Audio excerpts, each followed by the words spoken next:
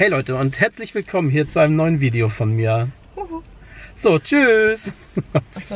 Das war's, das kürzeste Video. Ja, wir sind jetzt hier bei Lidl und wollen mal gucken, nachdem ich äh, beim letzten Mal, es gibt irgendwie diese Cashewkerne nicht mehr, ne? Diese Sour Cream oder wie heißen die? Ich sage immer Sour Cream dazu. Ich auch, Sour Cream hört das- sich ja viel besser an als Sour Cream. Was soll denn das heißen? Viele haben uns ausgelacht. Haben, Hä, wie, wie sagt ihr denn zu. äh, Also mal ganz das kurz mal Sour eben. Cream? Sour Cream, Sour Cream. Was hört sich besser an? Sour Cream. Zweite, aber eigentlich sagen die alle Sour Cream. Also, wir holen uns jetzt Cashewkerne Supreme oder hoffen, dass es die hier gibt, weil es die ja irgendwie scheinbar nicht mehr gibt. Ne? Das gibt es immer mit gesalzenen und gewürzten und Supreme, so in so einem Dreierpack und die sind, die sind immer alle weg. Ja, wollen wir mal gucken. Ich, achso, ich muss da meinen Mundschutz aufsetzen. Das ist ein bisschen kompliziert, den aufzusetzen, weil das hier, das Ding hat ja auch Augen. Und die Augen, die will ich ja frei haben. Deswegen muss ich immer gucken, wie das hier so passt. Auch mit der Nase muss das hier mit der Spitze ja genau hinhauen. Ne? So, dann gehen wir mal rein. Willst du nicht mitkommen? Mm, Ich warte. Ich habe gar kein Geld. Du musst mitkommen. Nee, du hast dein Portemonnaie. Da hast du eine Karte drin. Komm doch mit. Ich komme nicht mit. Warum nicht? Nee, weil ich das nicht ertragen kann da. Aber wieso denn nicht?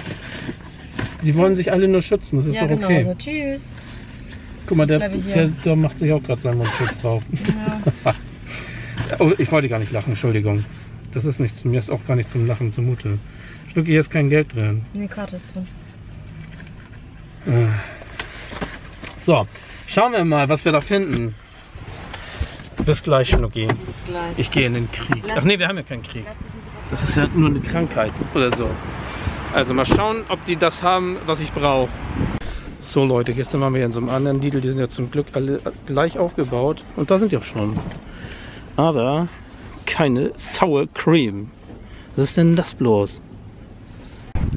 Was eine Pleite, schon wieder nix.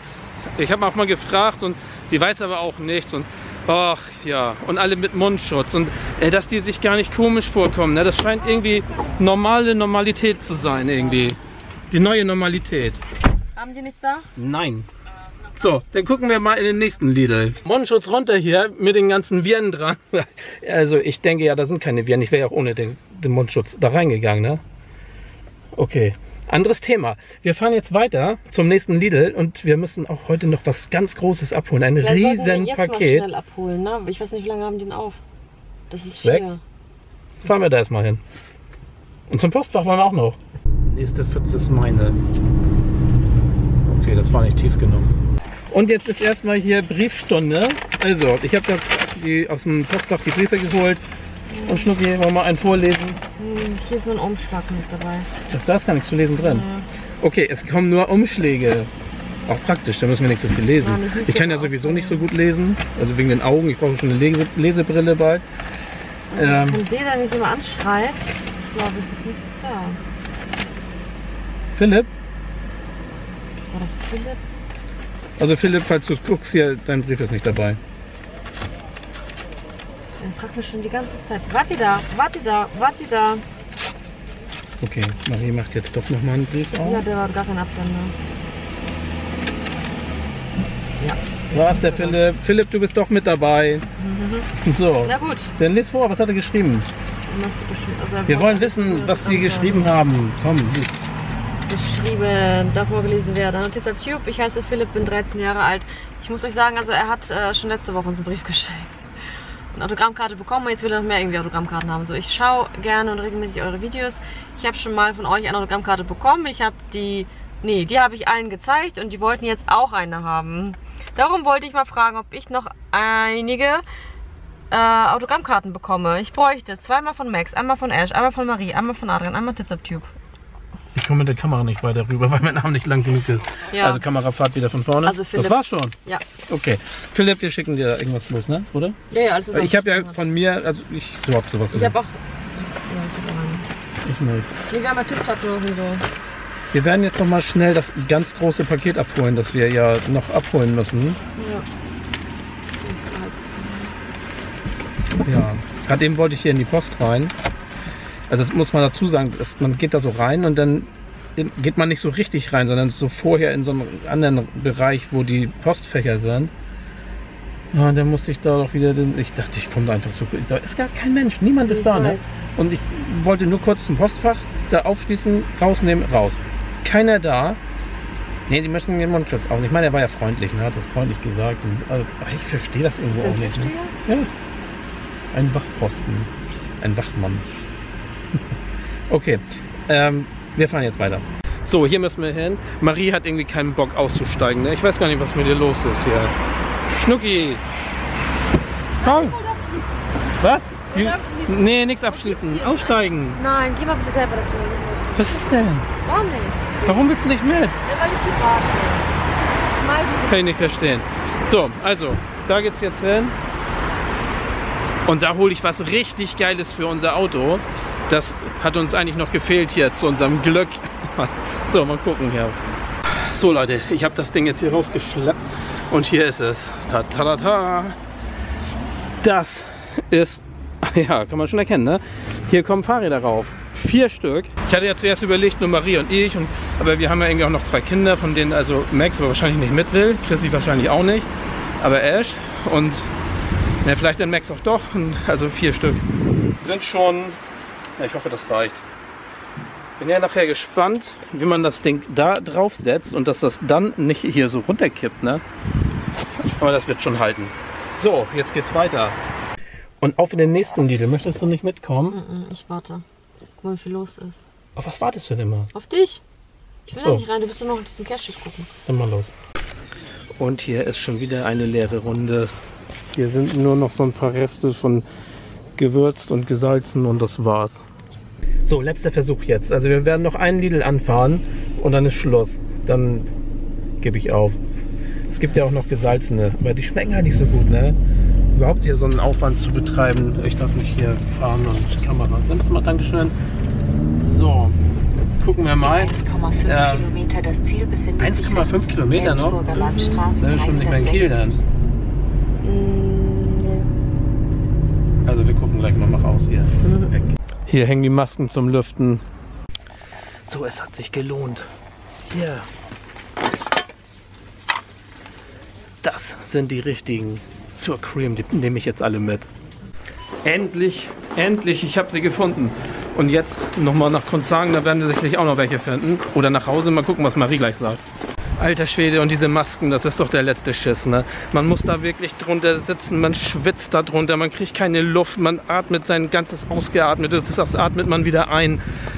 Boah, das ist mit hundertprozentiger Sicherheit auf keinen Fall gesund. Virus hin oder her. Schnucki, guck dir das an. Das Ich hab- hier ist ein Auto. Ich habe den Schatz gefunden. Ja. Guck es dir an. Gold. Wo fahren wir jetzt hin? Wo ist der nächste Lidl? Ich hab's, ich hab's mir doch gedacht. Und der nächste Lidl ist dran. Wir gucken, ob wir hier jetzt auch noch ein paar Dosen finden. Ich habe ja neun Stück eben gekriegt. Vielleicht finden wir noch einen, dann habe ich zehn voll. Vielleicht auch noch elf, dann habe ich 20 voll. Oder vielleicht noch 21, dann habe ich 30 voll. Und mein Schnucki ist auch mit. Und dann gehen wir jetzt auch gleich ein bisschen größer einkaufen. Noch ein bisschen Zelda. Nehmen wir, warte mal, das sind die richtigen. Ja. Medium, ne? Zwei Stück? ja. Das war's mit Cashews. Also hier gab es am allerwenigsten.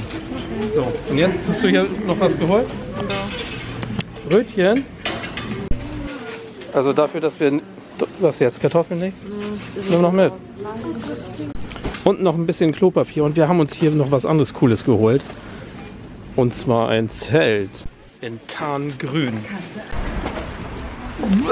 Und alles eingeräumt hier. Und ich wollte noch mal ganz schnell was erzählen. Ich habe nämlich vorhin gerade irgendeinen so Bericht von den Ärzten wieder geguckt, wegen Corona natürlich. Sorry, dass jetzt hier kurz noch was kommt, aber es war total genial.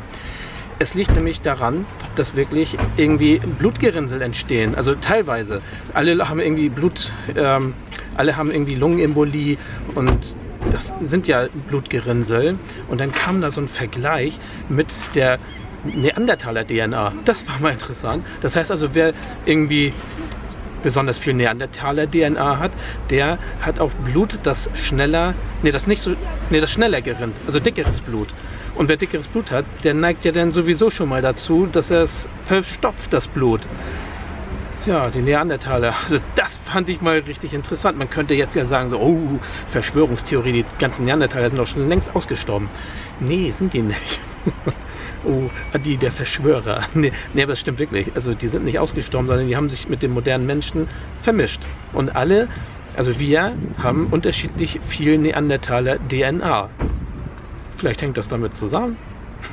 Wir haben mal eine ganz krasse neue Sichtweise. So, das reicht jetzt. Kurz noch ein Nachtrag zur Neandertaler-DNA.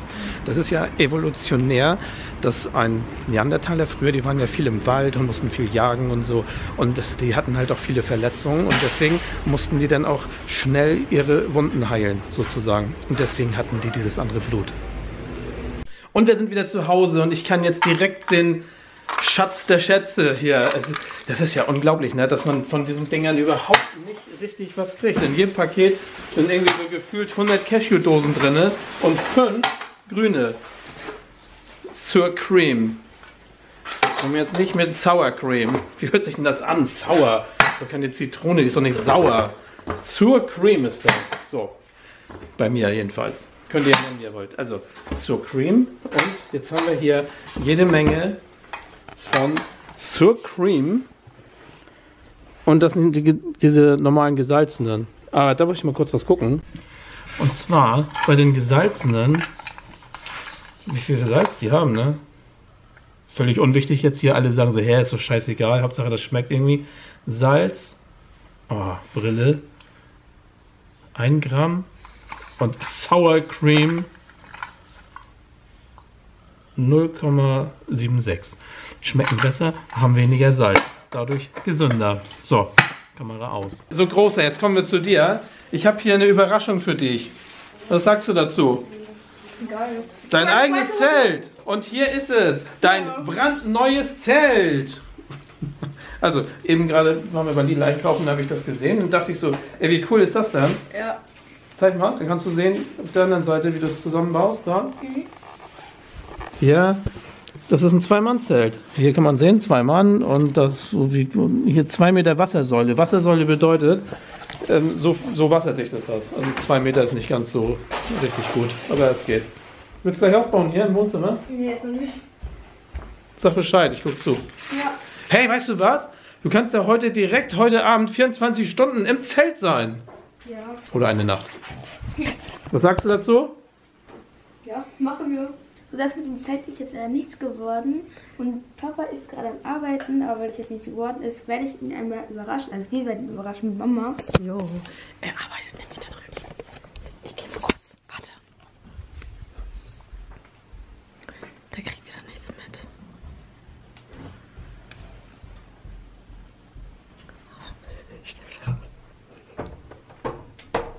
So, also wir haben alle tierischen Hunger schon. Und wir überraschen Papa mal einmal mit einem ganz einfachen Essen, Ja. was auch ein kleines Kind kochen kann noch. Welches? Welches Essen? Wie viel haben wir denn zur Auswahl? Wir hatten schon was davon gegessen. Das war mal bei mir auf dem Kanal. Das war super lecker. Wir haben hier Lendenbraten auf Rahm.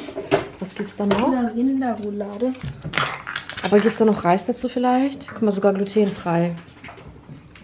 Noch mehr? Cool.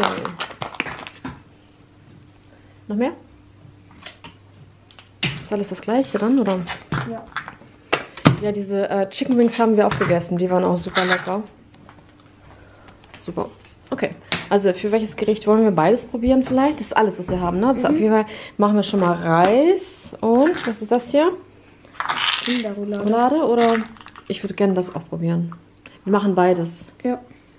Das sind wie viele Portionen denn? Man braucht nur drei bis fünf Minuten. Ähm, das reicht wohl, ne? Für uns drei. Okay, also Töpfe raus. Esch an die Töpfe. So, Pfanne ist jetzt schon aufgestellt und jetzt müssen wir es aufschneiden. So.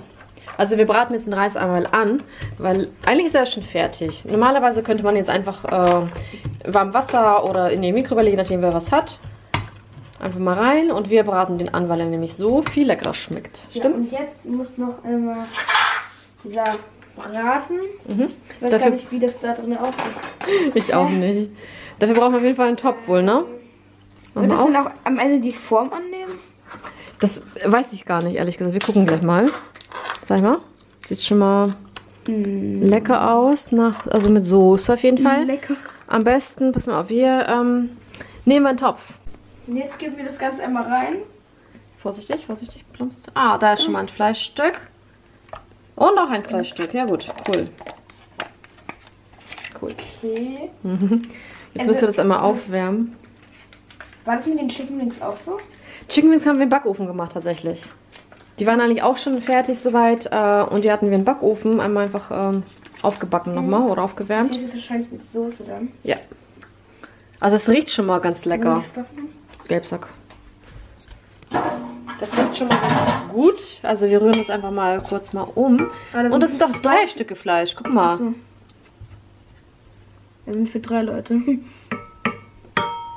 Oder noch so, noch so eine Packung daran. Noch eine?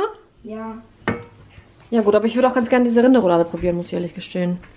Können wir auch nochmal gucken gleich. Ja, weil es sind drei Stücke Fleisch. Zu wenig, ne? Ja. Du, du, Ist Max hier mit? nee. Die machen oben was für sich. Nochmal rein. Ist es komplett aufge... Hast du aufgemacht komplett? Ja, tatsächlich. Okay. Ja gut, dann wärmen wir das einmal alles hier im Topf auf. Das riecht wirklich sehr gut. So, und einmal, ich rühre mal den Reis um.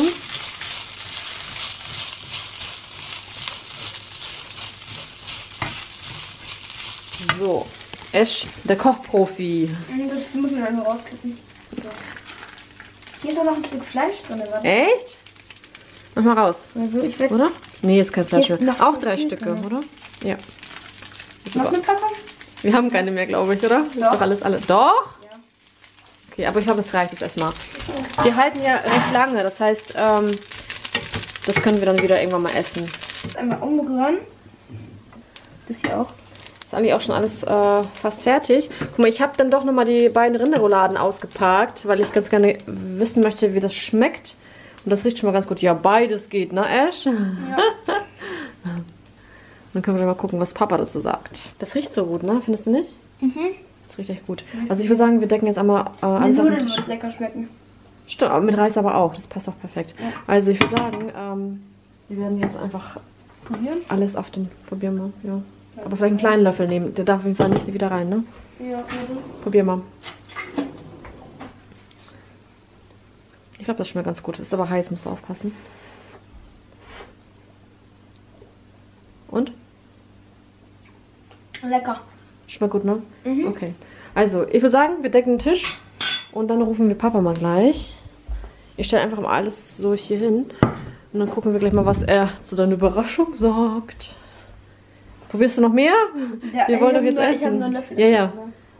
Wir wollen doch essen. und? Lecker. Mhm. Super. So. So, wir holen jetzt immer Papa, aber er muss die Augen zu machen, wenn er herkommt. Papa, Ja, bin ich. wir haben eine Überraschung für dich. Oh, was für eine denn? Komm mal mit. Aber Augen zu. Warte, ich muss dir kurz noch zu Ende schreiben. Ich. Achso, okay. Ich glaube, ich muss Ja. dir mit Nase zukommen. Augen zu. Ich mach zu, okay? Okay. Und jetzt? So, und jetzt komm. Ja. Soll ich gegen den Tisch findet, laufen? Findet er den Weg? Ja, ich gucke einfach nach unten hier. Da bin ich ja mal gespannt. Setz dich auf deinen Platz. Hier. Auf deinen Platz setzen. Und jetzt? Und Augen immer noch zu. Oh, das riecht hier wie im Restaurant, ne? Ja, ne? Augen immer noch zu. Ja, ehrlich, das riecht total lecker. Was Ja. habt ihr gemacht? ja was hat Und Augen auf. Äh, Kinder, Teller, Griselda. Nein. Das kann es wohl kaum sein, oder? Nimm, nein, nimm du. Ich muss kurz mal die Kamera nehmen. So. Also, Esther hat mich hier ja scheinbar irgendwie schwer überrascht. Weiß nicht, was das jetzt ist hier. Ach, jetzt weiß ich wieder, was das ist. Ich weiß. Habt ihr diese Sachen von Sicherstadt gemacht, ne? Er hat gekocht. Diese leckeren Tüten. Ash hat gekocht. Das brauchte man doch nur ins Wasserbad zu legen, oder? Nein, wir haben das diesmal ein bisschen anders gemacht. Das Wir haben sieht den Reis. lecker aus. Hör mal, wir haben den Reis angebraten und äh, ja, das Fleisch ganz normal in der Pfanne, äh, im Topf erwärmt. Guten Appetit. Lecker, Also, lecker, Also ne? Ash hat schon probiert, er sagt, es schmeckt sehr gut. Äh, es gibt hier noch eine Rinderroulade sonst noch, gleich zum Probieren. Also, Wie, was ist das denn? äh, wie hieß es nochmal? Irgendwas in Rahmensoße. Lendenbraten in. Rahmensoße. Genau, das war das. Okay, also, damit ich jetzt hier nicht so viel schmatzen, äh, äh, also schmatzen kann ich ja ruhig, aber damit ich das nicht aufnehme, muss ich jetzt mal die Cam weglegen. Wir machen ASMR. Guten Appetit. Er hat schon probiert, er sagte, das schmeckt wirklich sehr gut. Mhm. Von dem Fleisch hier probiert. Und nachdem Ash jetzt gesagt hat, dass das total gut schmeckt, ich habe ja nun hier auch meine ersten Löffelchen hinter mir. Wir sind schon gleich fertig. Ich muss sagen, das ist echt genial. Und dass sogar du davon begeistert bist, ne? Innerhalb Also. von fünf Minuten fertiges Essen, Mittagessen. Jetzt Drei. wollen wir erst in drei Minuten. In drei? Na gut, dann machen Also wir es ging recht schnell. So, jetzt Also Tischdecken hat länger gedauert. guten Appetit. Guten Appetit. Und jetzt kommen wir zu diesem Prachtstück hier. Ich glaube, ich heute. Ich, ich glaube, heute schleppe ich das einfach nur mal in die Garage und dann baue ich das irgendwann mal an. Ich habe da irgendwie heute keinen Bock mehr drauf. Oder doch, doch, eigentlich habe ich Bock da drauf. Aber wenn ich das dann dran habe, dann will ich auch gleich ein Fahrrad draufstellen und auch gleich los. Und dafür ist das Wetter echt ätzend, ne? Regnet, kalt und ungemütlich. Erstmal in die Garage. Ja, und dann schauen wir mal weiter. Ach man, jetzt bin ich im Badezimmer, hab mir gerade die Hände gewaschen. Macht man ja so, ne? Man kommt rein von draußen, wäscht sich erstmal die Hände. Was fällt mir denn ein? Ich habe noch das olle Tuch um hier, mein Gesichtsschutz, das ist ja jetzt voller Viren. Und wenn ich das jetzt wieder anfasse, kann ich mir gleich wieder die Hände waschen, ne? Oder ist das vielleicht gar nicht voller Viren? Ich hatte es ja gestern schon mal auf und dann habe ich es wieder gewaschen hier in heißem Wasser und oh, es ist, wenn man nur mal wüsste, wirklich wüsste, dass das auch Sinn macht oder ob man hier nur irgendwas macht, weil der Staat, das, also die Regierung das sagt und das ist völlige Kokolores hier. Also ich weiß es nicht. Also nochmal Hände, ne, erstmal das Ding ab hier. So, das muss dann gewaschen werden. Die Viren müssen rausgewaschen werden. Oder im Ba- Backofen bei 60 Grad habe ich auch gehört. 20 Grad, ne, 20 Minuten bei 60 Grad im Backofen. Wahrscheinlich verbrennt das Nylon-Zeugs dann. Na gut, also jetzt, jetzt mal Hände waschen und dann ist hier Feierabend für heute.